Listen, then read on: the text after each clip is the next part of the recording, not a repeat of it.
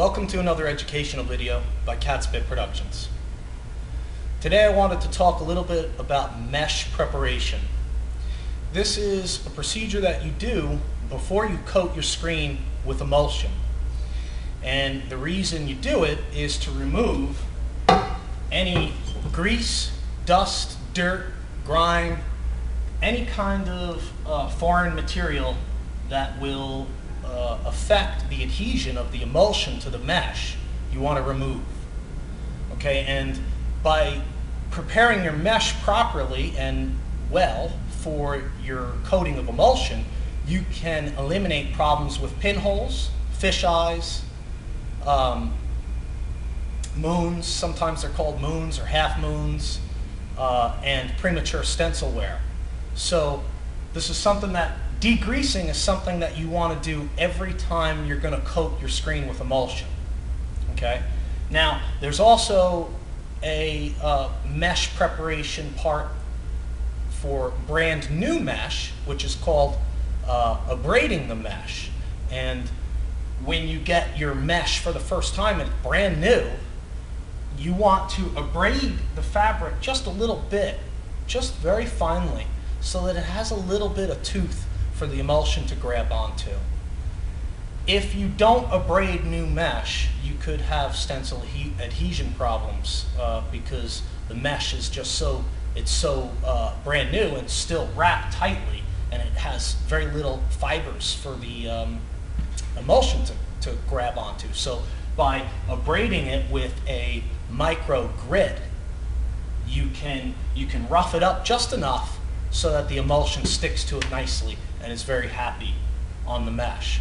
Okay, so mesh prep is basically two parts. It's degreasing and if you need to, when your mesh is brand new, you abrade it with micro grit. Okay, you don't want to abrade your screen every time you coat it with emulsion. That would cause the mesh to prematurely wear and break down and lose its integrity and also performance. The, the, the more you abrade the mesh and more the more hairy the fibers are actually, uh, when you look at it under a microscope, the less well or the le you know the performance of the stencil suffers as the mesh becomes more fibrous. Okay, so uh, we're going to talk a little bit about that today. Now I wanted to I, I wanted to say first of all for for you guys who print at home, we know that mesh prep and chemicals and stuff like that can be expensive for you to buy and can, you know, you, know, difficult to work with in a residential area and things like that. However, I want to point out that if you do choose to use, some people use Comet for their abrasion, to abrade new mesh, and some people will use Ajax, uh, well, uh, you know, a dish detergent to degrease. And obviously I have these in here and these are so these are my absolute last resort backups.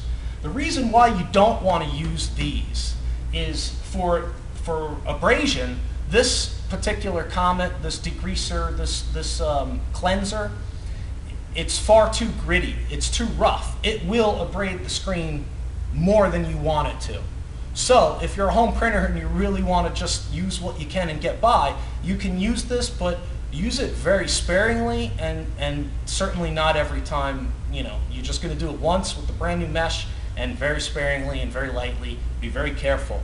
This stuff will ruin your mesh, uh, especially if you use it repeatedly, okay?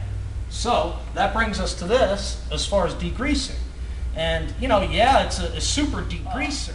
It's true, they do work on dishes, but a lot of these products have lanolin and uh, what's called, uh, I think it's called uh, wool grease or something to this effect.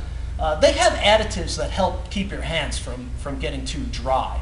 Okay, so those additives can often make your degreasing counterproductive with this particular uh, soap.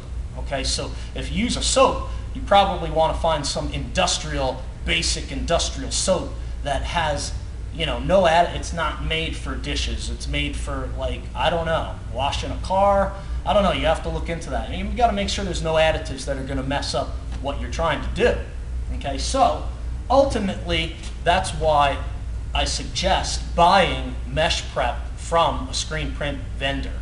a supply vendor. Use a degreaser that's made for screen printing and it's going to make your life easier. That's just the bottom line. That's just the way it is, okay? So, let's do it. Okay, so we're just going to wet it.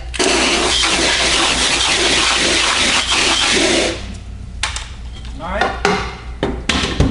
You're going to take your mesh prep and you're going to get it on there. Spray it on there nicely. Get it all over the place. You know, when the screen's open like this, it's it kind of goes through, so it may not be necessary to do both spray both sides. You just do one side, it's fine. You get your brush, which is a clean brush. You want to have a brush that is not contaminated, contaminated with anything, and you're going to use it to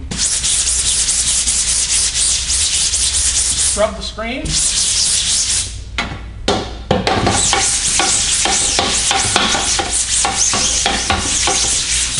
Like so. Okay, and that's it. You're going to let that sit for a minute maybe. Okay, and letting it sit for a minute uh, lets the degreaser, you know, work and pull the grease off of the mesh. And uh, make sure to visit the Catspit Productions website at catspitproductionsllc.com and visit the new article archives page in the printing printing articles section. And there's a new article on mesh prep, uh, which goes into detail about the chemicals in a little bit and which ones you can use and all that kind of stuff. So make sure to check out the mesh preparation uh, article on the Catspit website in the brand new article archive section, which is where all the newest articles from Catspit Productions will be posted. So now let's wash it out.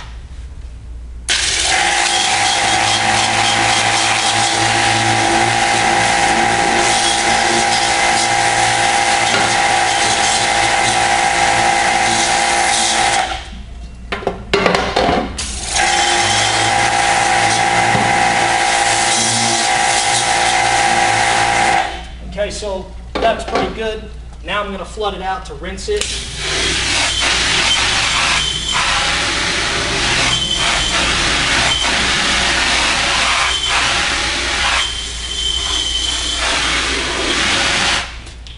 When you flood your screen, you can see that my pressure washer has two parts. It has the pressure washer and this part which lets water through. So just regular garden hose type pressure water. And this is good to flood the screen and rinse it well of the degreaser, the mesh prep.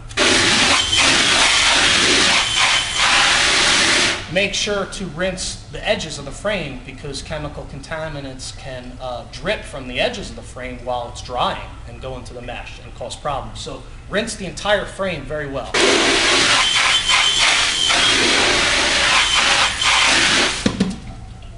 And that's it. Now you just set it down to dry. Make sure it dries in, a, in uh, an area that's not going to get it full dust again, right? And that's it. Thanks for watching Catspit Productions educational videos. Don't forget to visit catspitproductionsllc.com. Subscribe and rate five stars. Thanks for watching.